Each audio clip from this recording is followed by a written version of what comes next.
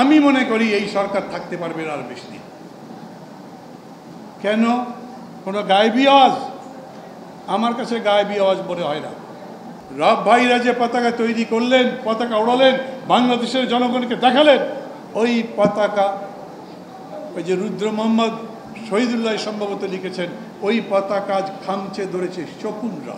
দেশ শাসন করে শকুন, ওরা মরা গরু খায় পারলে মানুষ পেরে মানুষের মাংস খাবে। এখন সেই রকম দান্দা ফিকিরের মধ্যে আছে। ওই দিন একটা ইতিহাস ছিল। কিন্তু আমি এই কথা বলব যে সেই ইতিহাস পুরোপুরি সামনে আসেনি। এখনও না। এমনকি আমরা ওই পুরা ইতিহাস আনছি না। পতাকা নিচে থেকে জাহিদ ভাই ওনার মঞ্চে দিয়েছেন। উনি এগিয়ে গেছেন, ধরেছেন, সবাইকে পতাকা উড়িয়ে উড়িয়ে দেখিয়েছেন। আমি কৃতিত্ব দেয় এই কারণে। ওই যে পতাকা উড়ল, নদী নদী রক্ত বয়ে গেল, পতাকা নামল না। এটাই আমাদের এটাই আমাদের সবচেয়ে বড় গৌরব। কিন্তু এই পতাকা তৈরির পেছনে তো একটা ইতিহাস আছে। আর পতাকা মানে তো কেবল কাপড় কেটে ডিজাইন করে একটা জিনিস বানানো নয়, পতাকার মধ্যে একটা চেতনা আছে। সে হচ্ছে আমার স্বাধীনতার চেতনা। সমগ্র বাঙালি জাতির মধ্যে এই স্বাধীনতার চেতনা বুনে দিয়েছিলেন কে? আমি তো চট্টগ্রামে থাকতাম, ওখানে লেখাপড়া করতাম। আমি ছাত্রলীগের যে দ্বিধা বিভক্তি ছিল তার মধ্যে রব গ্রুপ করতাম। এবং আমার নেতা ছিলেন সিরাজুল আলম খান। আমি জানি রব ভাইয়ের নেতাও তিনি, সিরাজুল আলম খান। কিন্তু ওনাকে আমি কোথাও দেখছি না। ইতিহাস কি লিখবে আমি জানি না। এই যারা ক্ষমতায় আছে, তারা ইতিহাসটা গিলে খাওয়ার চেষ্টা করছে। শুধু ওই ইতিহাসটা, যেই ইতিহাসে এরা ছিল না, সেই ইতিহাসও দখল করবার চেষ্টা করছে। যেমন ভাষা আন্দোলন। জানেন এগুলো ইতিহাস, লম্বা করতে চাই না। কারণ এই সরকারের বিরুদ্ধে বলবার মতো এত কথা আছে যে ওই বাহান্ন সাল থেকে যদি শুরু করি তাহলে দুই হাজার বাইশ সাল পর্যন্ত আসতে আসতে এসার আজান পড়ে যাবে। আমি এরকমই কিন্তু বলছি, সত্যি সত্যি দীর্ঘদিন বেঁচে থাকুক। এই জন্যে যে সাকি যখন বক্তৃতা করলেন বা সাইফুল হক ভাই বক্তৃতা করলেন, তারা বললেন, এই লোক এখনও বেঁচে আছেন, তাকে সম্মান জানানো হচ্ছে না। মানে কি, রব ভাইয়ের মরবার বয়স হয়েছে নাকি? মরবার কোনো বয়স আছে? মালয়েশিয়ার মাহাথির মোহাম্মদ তিরানব্বই বছর বয়স ওই দেশের প্রধানমন্ত্রিত্ব করেছেন। আমাদের দেশে প্রফেসর মুজাফর নব্বই বছর বেঁচে ছিলেন বদরুদ্দিন ওমর নব্বইতম জন্মদিন সেদিন পালন করলেন। আশ্রম হ্যাঁ? ভাষা সৈনিক বলছেন মানে যিনি বলেছেন যে এই লোকটা এখনও বেঁচে আছে তিনি আবার বললেন আমাকে শুধরে দিলেন। ভাষা সৈনিক আহমদ রফিক একানব্বই বছর বেঁচেছেন। হ্যাঁ বেশি আছেন। জনাব আশ্রম রবু একানব্বই বছর পারলে একশো এক বছর বেঁচে থাকুক, আমি তো তাই চাই। কাহিনী বার করে, বাংলাদেশ কত উন্নতি করছে দেখছেন না? এই বিরোধী দলের চোখে ঠিক নাই জিডিপি বাড়ছে কত? আমি এই একটা ব্যাপারে কথা বলব একটু। কারণ আমি মনে করি অনেকেই জিডিপির ব্যাপারটা সাধারণ মানুষ ভালো করে বোঝেন না।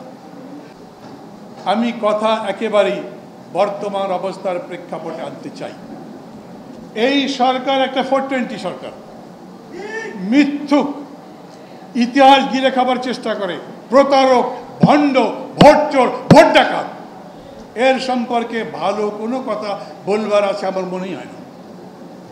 যারা যারা মনে করেন যে না, সরকার কি সবই খারাপ? কিছু কিছু কি ভালো নাই? আমি তো দেখি না। ওই পদ্মা সেতু, কত ভালো কাজ। একটা পিলার হয় আর টেলিভিশন ঝকঝক করে ওঠে। মনে হয় যেন ঈদ লেগেছে।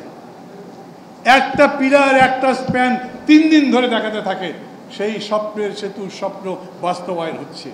অথচ খেয়াল করেন, বারো হাজার কোটি টাকার একটা প্রজেক্ট এই মধ্যে পঞ্চাশ হাজার কোটি টাকা খরচ বারো হাজার কোটি টাকার প্রজেক্ট পঞ্চাশ হাজার কোটি টাকা খরচ হয়েছে।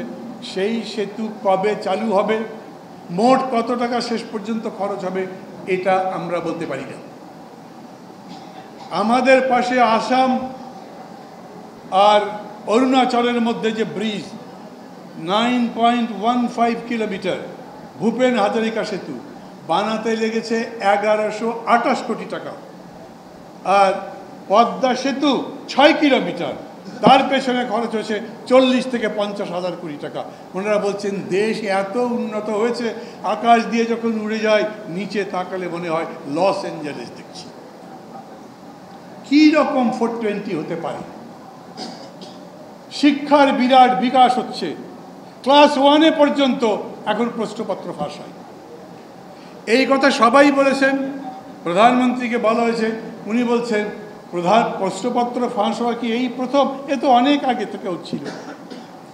আগে হচ্ছিল সেটা এইচএসসি, এসএসসি, মেডিকেলের ইউনিভার্সিটির ক্লাস ওয়ানের প্রশ্নপত্র যে ফাঁস হতে পারে, এটা তো আমাদের মাথায় আসেনি। যারা এই কাজ করেছেন, তারা কত বড় ধূর্ত একবার ভেবে দেখেন। এই সরকারের লুটেরাদের খাতায় দুনিয়ার মধ্যে নাম লিখিয়েছে। দুঃশাসনে ইতিহাসের পৃষ্ঠায় উঠেছে। আর ক্রস ফায়ারে মানুষ হত্যা করবার ক্ষেত্রে সমস্ত বাংলাদেশ বিশ্বকে তাক লাগিয়ে দিয়েছে। এদের বিরুদ্ধেই শুধু বলতে বলতে অনেক সময় যাবে। ওদের মন্ত্রী নিজেই বলছেন, টিসিবি ট্রাকে দেখি প্যান্ট শার্ট পরা ভদ্রলোক। সেইটা বড় করে নিউজ হয়েছে, পত্রিকায় দেখেছেন। সাত দিন পরে দেখলাম, চট্টগ্রামে টিসিবি ট্রাকে ভদ্রলোকেরা দৌড়াচ্ছেন। মানে ট্রাকে আর মাল নাই। ট্রাক চলে যাচ্ছে আর মানুষ দৌড়াচ্ছে কিছু দিয়ে যাও নাহলে চলবো কীরকম করে। এই হলো দেশ। জননেতা জনাব মাহমুদুর রহমান মান্দা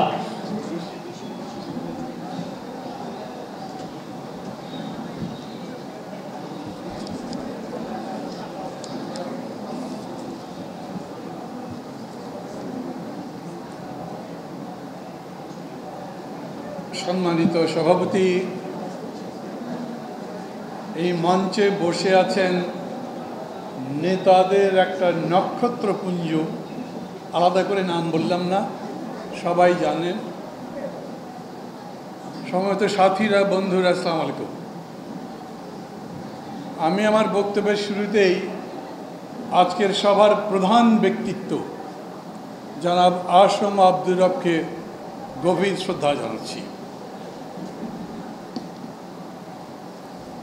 দীর্ঘদিন বেঁচে থাকুক রব ভাই। এই সংগ্রামের পথে, লড়াইয়ের পথে নতুন নতুন ইতিহাস রচনার জন্য। আমি এরকমই কিন্তু বলছি, সত্যি সত্যি দীর্ঘদিন বেঁচে থাকুক। এই জন্যে যে সাকি যখন বক্তৃতা করলেন বা সাইফুল হক ভাই বক্তৃতা করলেন, তারা বললেন, এই লোক এখনও বেঁচে আছেন, তাকে সম্মান জানানো হচ্ছে না। মানে কি রব ভাইয়ের মরবার বয়স হয়েছে নাকি? মরবার কোনো বয়স আছে?